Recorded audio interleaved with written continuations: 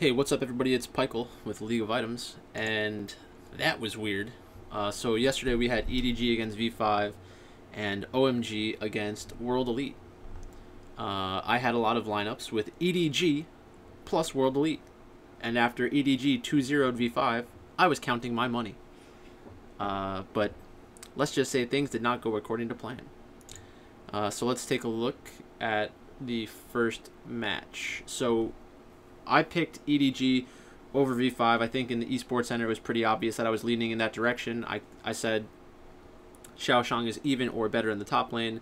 JieJie against Wei Wei is even uh, for the most part. Scout is better than Mole. And then Hope and Meiko against Samd and PP God uh, is closer than most people think. I know that there's a lot of hype around the Big Dick bot lane, but in reality, are they that much better? Uh, no. And I think it's clear because they've been switching out players. So uh, that always scares me. So in this draft, we have uh, Nidalee, Graves, and Renekton. So they're banning out carry champions from Wei Wei, which is pretty smart. Then we have Karma, Sett, and Volibear, so three good flex picks. We get Lee Sin, Ashe, Zoe, so th three pretty good champions so far. Lee Sin, a very aggressive jungler. Uh, then we have Twisted Fate, pretty good mid laner. Not great against Zoe, but they're not playing for the same thing, so it's fine. And then a blind Camille, which is always very risky. Um, probably a bad pick in a vacuum. Uh, Trundle, Ornn, so or they just counterpick themselves, which is horrible. Like that's that's one of the worst picks that they could have made in reality. Like that is that is one of the the worst possible picks is locking Ornn into a Camille. It makes absolutely no sense. And then we have Ezreal and Braum uh, to stop the Ornhorn, and then we have a Thresh. So just objectively looking at this draft, I would say the fact that V5 counterpicked themselves to get Ornn means that they like lose the draft. And then they also got countered again by getting the Braum. Uh, so I just don't don't really understand why they would draft like that, but it's kind of whatever. The game the game was very interesting. Uh, EDG managed to build up a gold lead, and V5 started building a dragon advantage.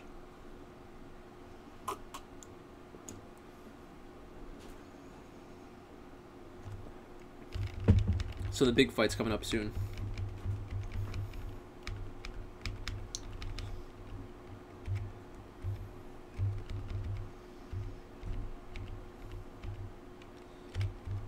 So so what's happening here? So basically, Camille has gotten to the point where she where she outscales Ornn. She's able to push in and create pressure in the top lane. In order to respond to this, V5 goes for a risky Baron.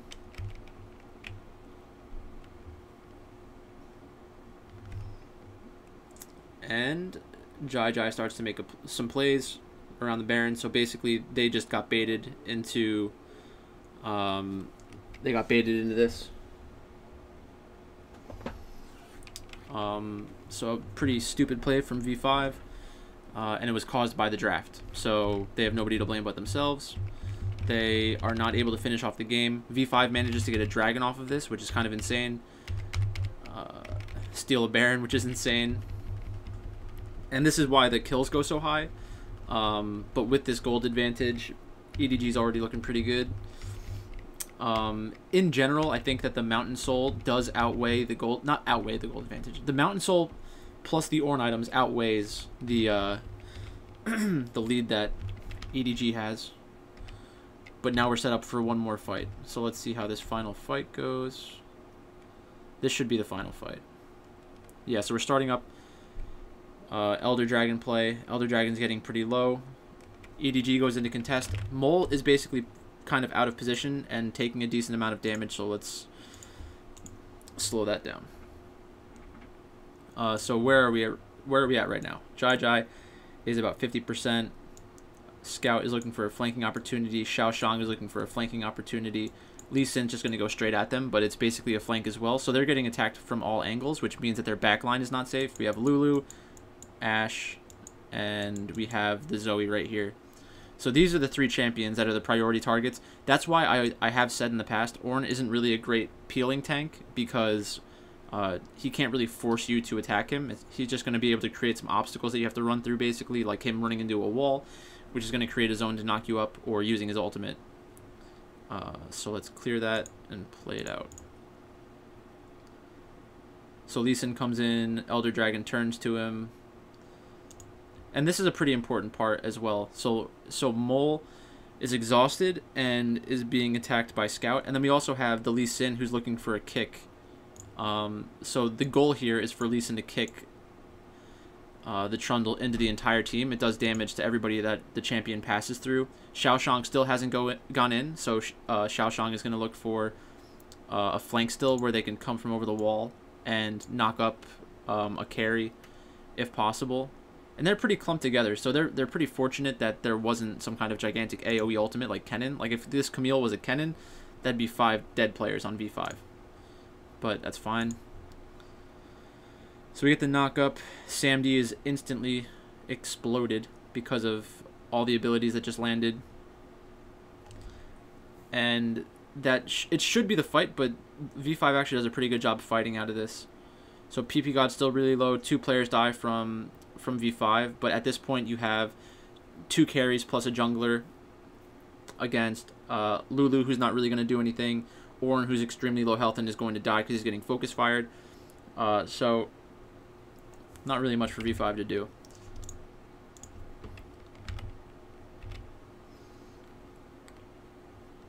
And then instead of going for a 50-50 smite, they decide to try to kill the Trundle, which is smart. Then they pick up the Elder Dragon, and then the game is over. That's just how League of Legends works, basically. So they ended up getting another Baron. They already had pressure on the base because of Camille uh, taking the inhibitor early in the game and knocking down one of the towers. Uh, and see, this is the this is the look of a guy who knows that he has the potential of getting subbed out. So he's freaked out right now. He doesn't want to get taken out. But uh, it's very possible.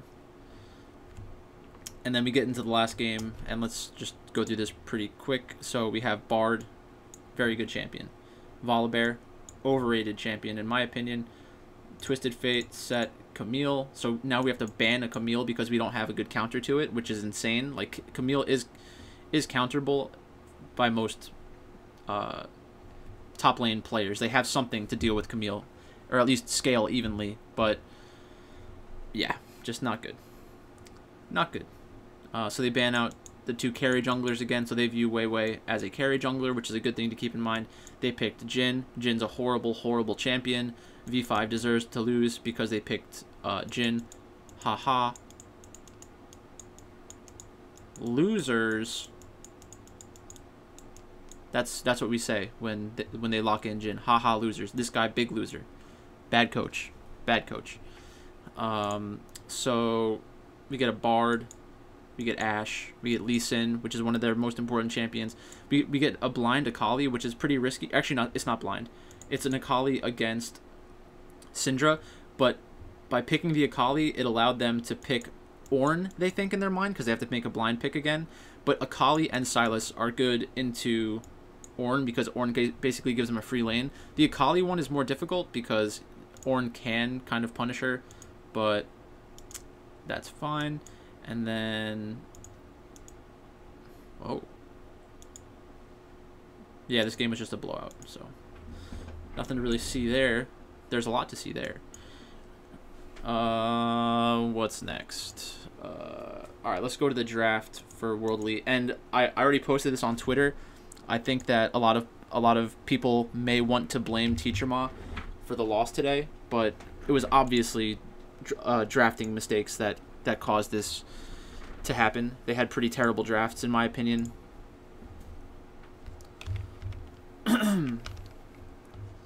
All right, so let's just go through this, hopefully pretty fast. Uh, so we have Karma, good flex champion. Galio, one of Teacher Ma's best champions. TF, one of Teacher Ma's best champions. Karma is also okay for Teacher Ma, but not not his preferred style of champion. Volibear gets banned. Lee Sin gets banned. Azir gets banned. Uh, so the Azir pick tells me, or the Azir ban tells me that they were probably already thinking about Sylas going into this match. Um, so we got Ashe, Bard, Trundle, Renekton Blind, which is not great, but it's not is really not the worst pick in the world. Uh, Ezreal is one of the better AD carries left on the patch. I would have preferred Aphelios. I think I think if they went If it went Ashe and then Aphelios Bard or something like that, then you're taking away the Bard from the other team. Bard is a much more important champion to get the Renekton. So I think that was a big mistake. Um, the GP pick was extremely good here because you blind picked the Renekton, so now they have a, a Gangplank that's going to be able to outscale. You have the Orianna that's uh, able to respond to Teacher Ma. So when they picked Sylas, you had the Ashe ultimate, which is pretty good. You had the Bard ultimate, which is a good utility ultimate, but it's really not the kind of ult you want for Sylas because for Sylas, you want abilities that are going to do uh, increased damage because of the way that his ult- his ultimate works. Uh, Subjugate is also not going to work like that. Orianna is a good ultimate for him, and Gangplank ult is a good ult for him. But they didn't know that when they locked in the Sylas, So this was very lucky from World Elite. So I think blind picking uh, Sylas is bad.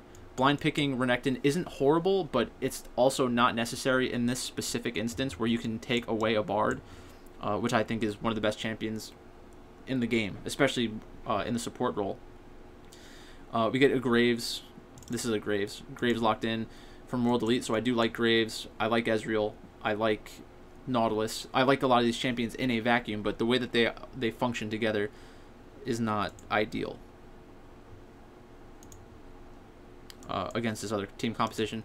So then OMG they were behind in the beginning of the game, but they kept it close enough and then they were able to win a few big team fights.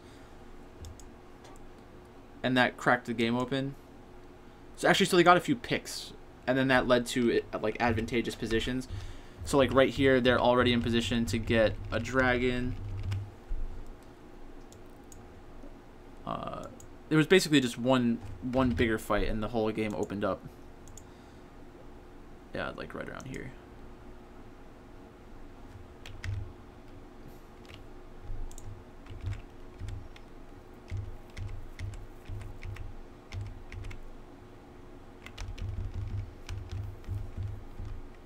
All right, so this this basically started by World Elite trying to make a play into the top lane. The game was on even gold at this point.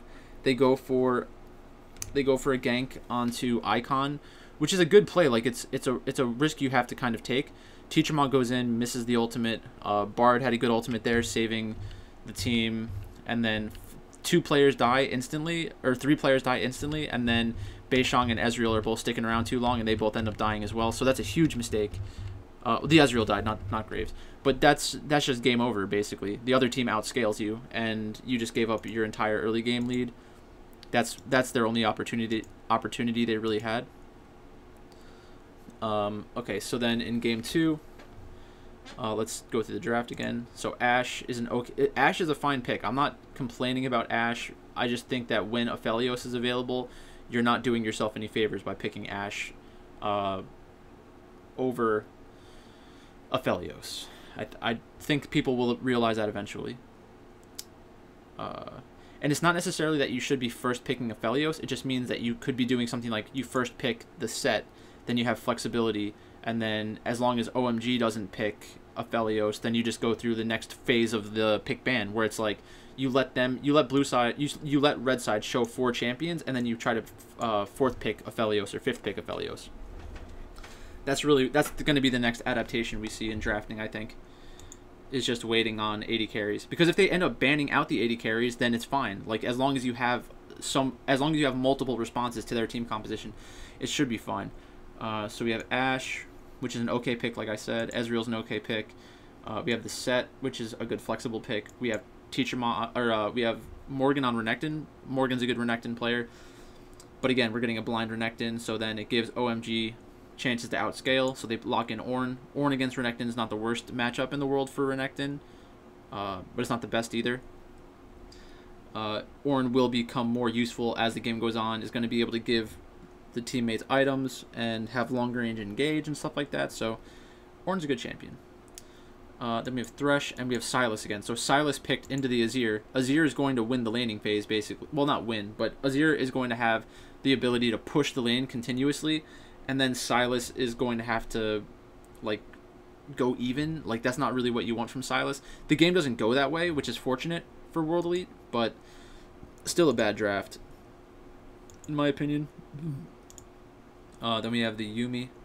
This game was pretty scary for a long time, but World Elite uh, World Elite was playing very aggressive, which was smart for them. They had to play very aggressive. Let's get into the final draft. And this is where I think we're starting to see some kind of like they're they had a game plan going into this and they just forced the game plan regardless of what the enemy team picked. And that's a mistake. So uh, we have Ashe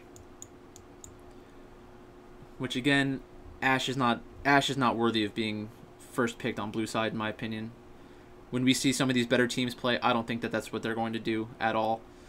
Uh, we have Volibear. Um, like I said, good flexible champion, but most of the time he's going into the jungle. Not a very threatening top laner. We have Ezreal, fine champion. Trundle has been very impactful in this in this series and is good specifically against Ezreal because Trundle can throw out his pillar and a lot of the mobility from Ezreal is mitigated, uh, at least slowed down and it helps the engage from the ash arrows as well. So if you get an ash arrow, you can follow with a pillar. If you get a pillar, you can follow with an ash arrow. If you get an ash arrow, you can get um, a flank from Azir, a flank from Wukong. Just a lot of good team synergy on OMG side. Again, we went with Sylas. So World Elite, I mean, I, I didn't mean we like WE. I meant we like World Elite. Uh, whatever. Uh, they lock in Sylas again. So Sylas against Azir, they're thinking to themselves, well, you know, we just have to play super aggressive again, get the Sylas ahead in the mid lane with ganks, but you can't depend on ganks in a professional game. You just you just can't do that. Uh, you can try, but it just makes it so volatile. So we have Volibear, Sylas, Nautilus again. Uh, Missing had a pretty bad series overall as well. And then the last pick was Hecarim. So Hecarim against Wukong is fine. So before we get into the game, let's just see what the matchups are. So it's Wukong against Hecarim. I mean, in the laning phase, it's favored for Hecarim, but you need to create a big advantage because Wukong is going to have good flanks. They're both going to have good flanks. Uh, Wukong is a little nat more naturally tanky, I think, though, with his uh, with his armor passive, Stone Skin. Um, Trundle against Volibear. Uh, if you're snowballing and you're diving under towers and stuff with the Volibear, great. Otherwise, Trundle's probably better. And he, Trundle has multiple options for uh, Subjugate, but Nautilus is probably going to be the best option for that. Azir against Sylas. I think it's Azir favored overall if you're not getting a bunch of ganks in the laning phase. And then Ashe against Ezreal. Ashe is favored in the laning phase. Ezreal is going to outscale and be pretty annoying. But they, they function differently. So Ezreal's more of a poke champion. Ashe is more of a team fighter like a uh, front to back team fighter. So they are just fundamentally different. Uh, but again, this game gets out of control early. So just pretty stupid. Uh, I think World Elite probably understood that they were behind and needed to make a big play, and just it just failed hard. So pretty fr pretty frustrating. I was I was very happy that EDG won that first series. I, I was feeling very smart and then they just go and throw it all away. So pretty annoying. Uh, see, and this is what happens. Like you, you get one good gank from the other jungler, and the the lane that you thought you were counter picking ends up losing, and it's like you're screwed, very screwed. Uh, so let's look at the odds for tomorrow. Um, another two-game slate. I hate two-game slates. Uh, so we had a plus 198 underdog win and a plus 29, uh, 283 underdog win. Tomorrow we have LGD against LNG. Um, I'm going to be on LGD. Everybody, everybody wants to say that LNG is not that bad, but LGD is a much better team than LNG. It doesn't mean that LNG cannot win. It just means that they shouldn't win. So if you want to play the game theory perspective, where it's like, oh well, you know, all of the ownership is going to be on the other side, or I want access to top esports, so I need to play LNG, then fine, go ahead. But I think in the long run, you're better off playing the jungle lineups, top lineups, support lineups. You might you might chop more, but if you're looking at making money tomorrow, it's more likely to do that with uh, top esports plus LGD. So I'm not sure how those teams are going to line up, but that's probably the, those are the sides that I'm going to be on. Um, but again, I always I always limit how much money I'm spending on a two game slate unless I feel like I have an edge. And yesterday I felt like I had an edge on EDG plus World Elite. World Elite didn't get it done. Oh no let's go cry about it. Um, but that's basically it.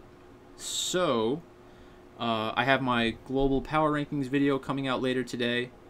Um, and I might do a separate video for the NBA. I've been pretty close on, well, not, I've, I've been making a lot of the right statements on the videos about which players are viable and like which players give you good ownership upside and stuff like that. So going pretty well so far.